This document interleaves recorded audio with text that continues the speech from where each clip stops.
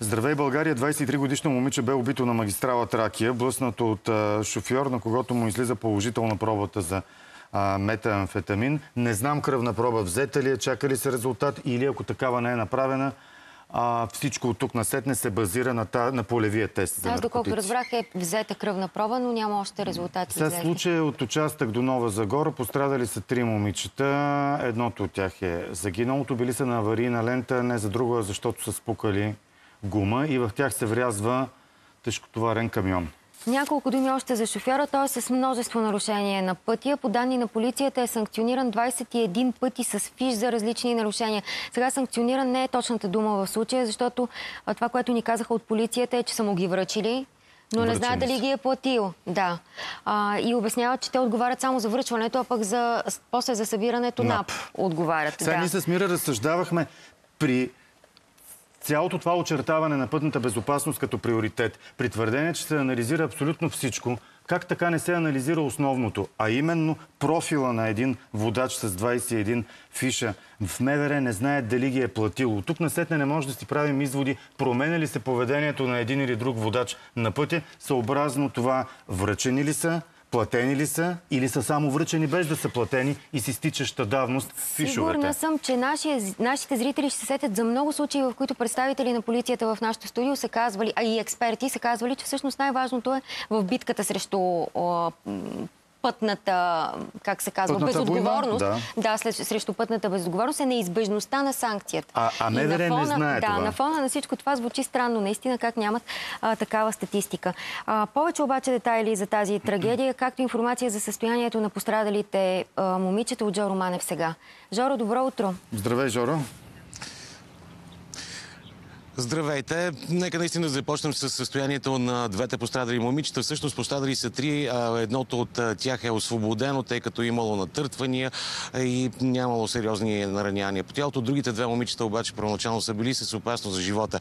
Те продължават да са в Старозагорската болница.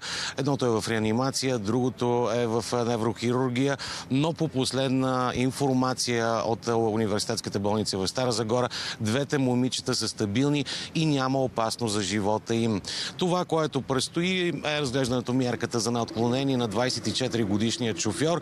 По-интересното обаче в случая, което всички ние очакваме и което вие коментирахте, е излизането на кръвната проба, тъй като полевият наркотест и тест за алкохол е показал и наличието на алкохол, и наличието на метамфетамини. Какво ще се случи обаче с кръвната проба? Тя се очаква да излезе най-рано до седмица, но пък знаете, че и на база на това какви са резултатите, ще бъдат прецизирани обвиненията на прокуратурата.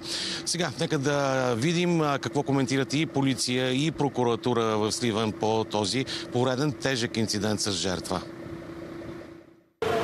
По първоначални данни, четирма пострадали от леки автомобил Форд, които са били извън автомобила, авариралият автомобил, като едно от лицата колегите констатират на място, че е починало.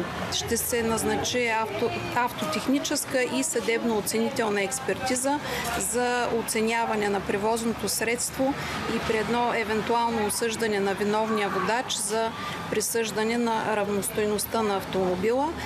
Също така окръжна прокуратура Сливен вече привлече към наказателна отговорност водача на товарния автомобил за това, че е управлявал автомобила, като е нарушил правилата за движение и след като е употребил наркотично вещество, тъй като изпробван, изпробван на място с дрегер за употреба на наркотично вещество, апарата е отчел положителен резултат за метамфетамин.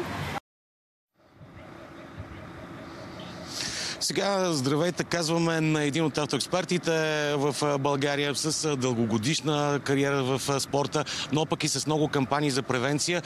Основно се концентрирате напоследък и върху превенцията за наркотици. Няма как да не сме възмутени от този случай, но директно към въпроса. Каква може да е превенцията за това сравнително в ранен час, по обяд почти, да се случи така, че тест да покаже проба за наркотици, разбира се и за алкохол в различни други инциденти? Стефан Драган. А, Смятам, че а, трябва да се направи много по-голям контрол а, а, и относно товарните автомобили, които преминават през нашата страна, тъй като това, което се прави в момента, не е достатъчно. А, тук сме на един паркинг, който е един от многото в България и може да се направи а, постоянен контрол а, който да помогне за намирането в- преди да са тръгнали по пътища на България а, на, на Да се правят тестове. Да се Но в правят случая а, шофьорът, който е направил катастрофата, е карал фирмен на, на транспорт. Това е вече и отговорност на самите фирми, които наемат а, водачи. Те също ли трябва да правят такива тестове? Трябва да се намери механизъм, по който да се а, да се да се намерят тези недобросъвестни шофьори. Добре, а нека един друг въпрос. А, излизат тестове все по-често на шофьори с положителни проби за наркотици. Трябва ли да се увеличат тези проби? Коментарът на полицията понякога път, че тези проби се правят по осмотрение, т.е. ако преценят, че трябва да се направят. Ако обаче станат масови като тестовете за алкохол, Трябва да станат масови, защото колкото и да е скъп един тест, той не е толкова скъп, колкото живота на, на един човек, макар и млад, в случая, вчерашния случай. Така че а, има голяма събираемост от глобите по КАТ.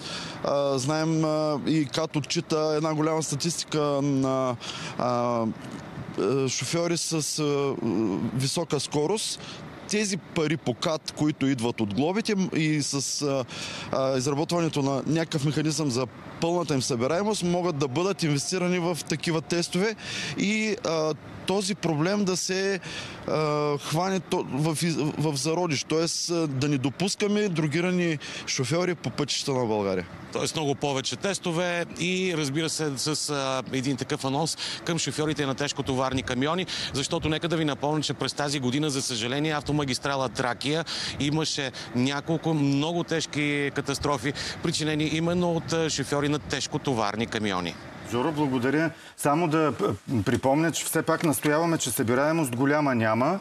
А имаше данни за миналата година от 188 а, милиона като наложена сума за санкции към 50 милиона събрана. А и ето в този случай не знаем от 21 фиша а, не, не е проблема, че ние не знаем. МВР не знае дали НАП ги е събрало или няма да ги събере, давността им ще мине и ще бъдат просто 21 фиша без абсолютно никаква а, санкция. Докато МВР това не го знае, малко трудно може да ни убеди, че прави добър анализ на поведението на водачите.